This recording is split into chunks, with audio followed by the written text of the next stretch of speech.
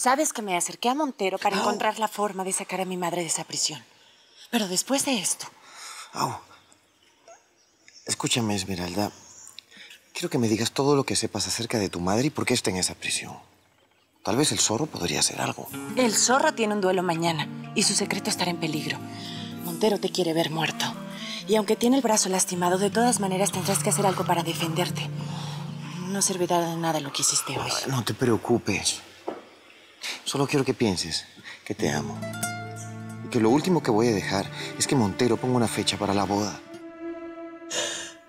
Tú solo estás obsesionado conmigo. Lo único que sientes por mí es locura. Locura y deseo nada más. Esto no es amor. Esto no es amor.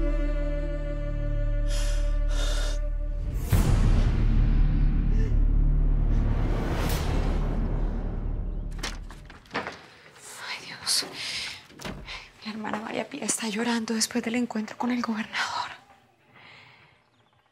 Y esa voz, esa voz era la misma voz, Suplicio, la misma voz que escuchaste la otra noche en el internado.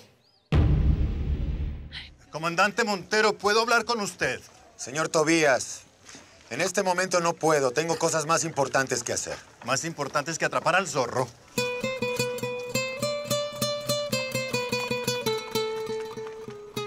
Retírense. Quedé un poco agitado.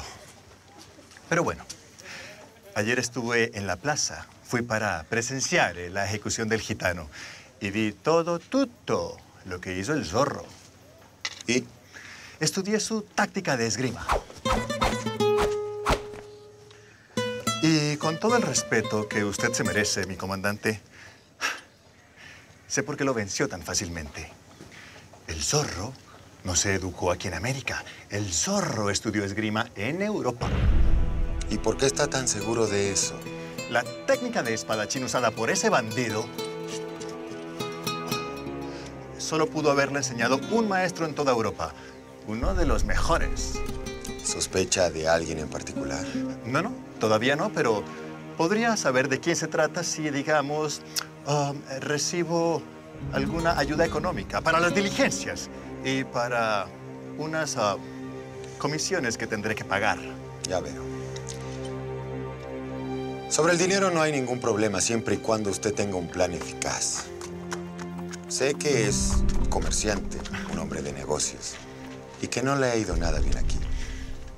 Llevo poco tiempo acá, comandante, usted lo sabe, y aún no he podido encontrar un gran socio con fondos.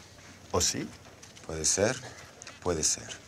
Muy bien, señor Tobías. No me haga perder más mi tiempo. ¿Qué plan tiene? El plan es, yo envío algunas cartas a Europa porque tengo excelentes amigos en Madrid, París, London y Roma. Ellos me informarán sobre qué discípulo de ese maestro vive aquí en América. Estoy seguro de que un hombre como el zorro no pasó desapercibido en Europa. Bien, muy bien. Arreglaré que le adelanten algo de dinero. Pero le advierto una cosa, señor Tobías. Esto quedará entre usted y yo. ¿Está claro? No esperaba menos. Hombres como usted siempre consiguen lo que quieren. Always. Quedo a sus órdenes. Mi comandante Montero. ¡Vámonos!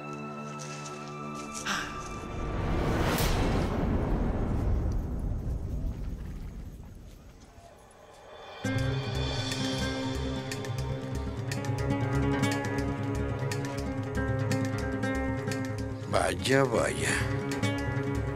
Ya somos varios detrás de ese secreto.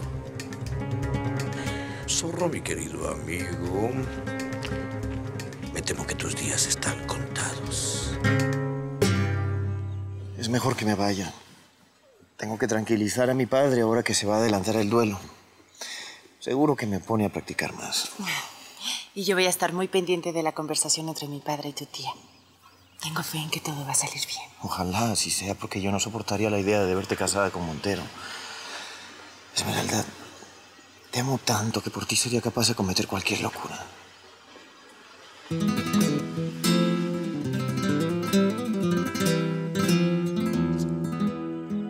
Y yo nunca antes me había enamorado. Cuando lo pienso, siento miedo. Todas las cosas me han salido mal en mi vida. Tengo mucho miedo que esto también tenga un final infeliz. Esmeralda, escúchame. No voy a permitir que nos separen. Tienes que confiar en mí. He soñado tantas cosas en mi vida que temo que esto también sea un sueño y que voy a despertar en mi cama con una vida llena de soledad. Esto es un sueño para ti.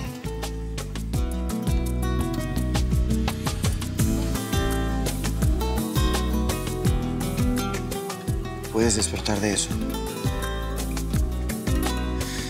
Ya no vas a despertar en un mundo lleno de soledad, Esmeralda. Te prometo que vas a despertar feliz en mis brazos, colmada de besos y caricias.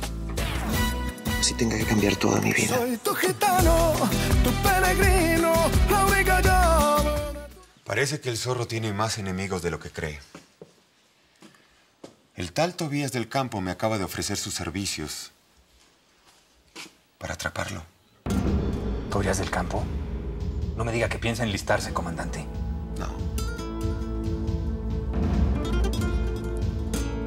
Trabajará para nosotros como espía. Ese imbécil cree haber descubierto ayer, por la forma de pelear del zorro, un cierto sello característico de un maestro español de esgrima.